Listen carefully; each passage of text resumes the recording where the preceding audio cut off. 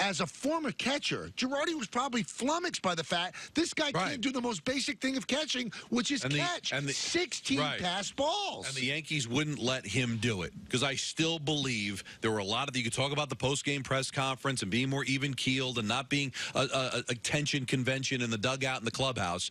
I think the, the the way he went after Sanchez was a major reason why he was let go. So they obviously have gone moved mountains to try to make sure this kid is in the right head, in the right frame of mind. Now look at Hicks last year. Did, did Hicks cost them games last year? We were having how many conversations? Why is he out there? He can't hit.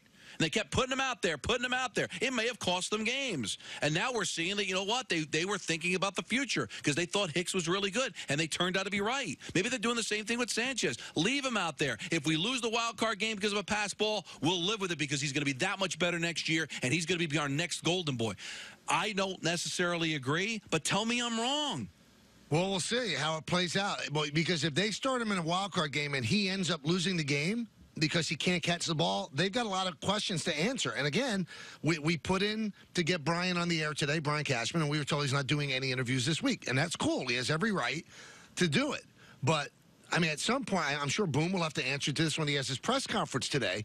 How long can you continue to go with Gary? Because his, his offense is not very not justifying, oh. you know, holding your nose at the defense. The sabermetric world, we've been called on it too. They don't care about 187. He's got 16 home runs. Extrapolate that out to a full season, a guy's hitting 30 something. Yeah, but I, but you know, Austin Romine has ten. Right. Austin Romine's not the automatic out he used to be. Austin Romine, in their eyes, is not a second away from being Gary Sanchez from 2016 and Gary Sanchez from last year. They're banking on that all of a sudden it's going to click, and he's going to be Mike Piazza. That he's going to be hitting the cover off the ball, and you'll live with the defensive liabilities because he's going to win you games with the bat. That hasn't seen it. You haven't seen it yet, but they believe it's going to happen. The other reason I disagree, and I agree with you, and I kind of disagree with the way they're handling it is, I think if you leave him out there where he cost you a playoff game, I think that does more damage than sitting him down. Uh, and it, it, it, remember the, the the the thing that turned into a meme when one of the sacks that Eli had, and he was sitting there on the turf. Yeah, yeah. And he kind of had this dazed look on his face. Take a look, everybody, at the ball that got past Gary. That Zach. By the way, Zach Britton is locked in. Uh, that Zach Britton threw uh, for the strikeout. He had that same look that Eli had. We had a close up of him on yes. I think that this kid right now doesn't know what's going on. Not a bad guy. Wants to be a great player. Wants to be a great uh, catcher.